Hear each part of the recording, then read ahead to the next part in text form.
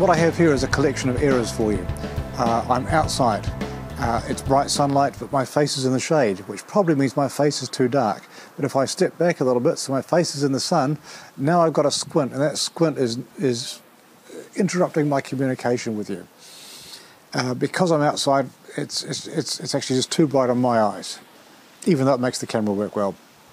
I'm wearing red. Red is not a good colour for video, it's too strong. It can create problems, especially when it's being compressed, and certainly it will create problems on, on VHS tape. Um, so try and avoid red as a colour. I'm standing up. Because I'm standing up, uh, I don't exactly know where I am in the frame. If I had somebody else operating the camera behind the camera, they could adjust so I was, I was framed nicely. But because I don't have anybody else that I'm working with, I'm doing this by myself, uh, I'm not exactly sure where I should be. I mean, should I be here? Or maybe here? I don't know. That's why sitting down is a lot better because if I'm sitting down, I can frame up on the chair, then go sit in the chair. I know I'll be in a predictable place. Also, if I had a camera that required focusing, that would be a, a, big help to know where I was going to be. To, to know where I was going to be precisely, not just approximately like I'm doing here and also the camera's not level and I've deliberately skewed it. And if you've got a geometric frame of mind you'll notice that there's the lines on the wall behind me are, are skewed and uh, it's probably driving you up the wall. Um, some people it doesn't seem to worry about other people it really does drive them up the wall. So make sure your camera's level. Don't wear red. Do it sitting down. Avoid bright sunlight. Um, nice diffuse light is good. Bright direct sunlight tends to be poor now, what I hope you've noticed in the section that we've just seen, where I've been outside, is that the sound was probably quite clear and it didn't have the, the reverberant quality that the sound has where I am now. Uh, that's because outside is it's very dry. Um, there, there are no surfaces for the sound to bounce off, and so your voice just goes out and, and there are no echoes coming back. So that means you get very clear audio if there's no wind if there's wind, it will really ruin the recording. Now, carrying on in my series of how to do it all wrong, um, here I'm sitting in, directly in front of a bright window. Now, what's happening is that the bright light outside is cause the camera is, is exposing for the bright light outside, meaning that me inside um, will be very dark and possibly even black. I, I can't see, but I, I bet I'm pretty black.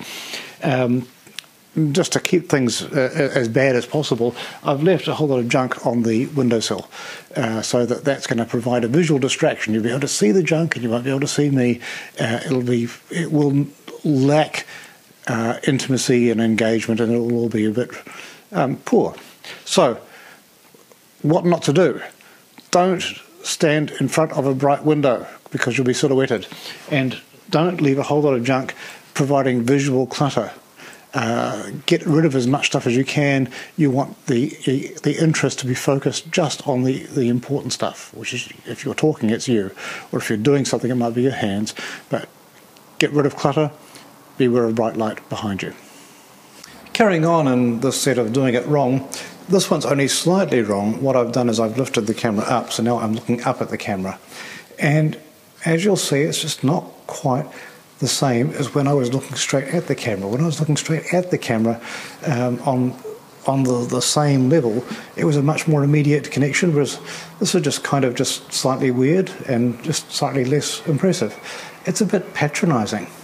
And for what it's worth, also, um, this is the way that people often take photographs of kids. From a standing position, looking down on the kids, it's much better if you're taking a photograph of kids, you get the camera down the eye level. Same principle is at work. So, camera on the eye level, neither looking up nor down. Now, to finish off this this set of dodgy practices of poorly done videos of uh, a collection of errors. Um, I'm holding the phone in my hand. There's no lavalier mic, but I'm outside, so um, the sound's probably not too bad. Uh, and also the mic's actually the camera's quite close to me because I'm, holding it in my hand. Most importantly, what I'm doing though is uh, I'm holding the phone the wrong way up. I'm holding it in what we might call portrait orientation as opposed to landscape orientation. And what that means is that if you're seeing this on YouTube, you'll notice that you've got a tiny little picture with big black bands on either side. And uh, it, it just is. This would be fine if people were going to view the videos on a phone or if they were going to view the videos on a on a, on a tablet on an iPad, because people can turn the videos the right way up. But by the time this has been encoded into YouTube, it's been set into this into this square peg in a round hole format of a, a box that goes up this way and a screen that goes that way, and the results are not very good. Also, I'm hand holding the camera, and even though I can hold it reasonably still, uh, well, there's still a bit of distracting movement, and to make matters worse, I'm making sure that I move around a little bit to keep lots of distracting movement in the background, so that uh, um, hopefully you're not feeling too seasick now. But um, you know, there's another collection of things to do wrong. Don't do it like this. Don't hold the phone. Don't have a phone camera this way up. Always have it sideways.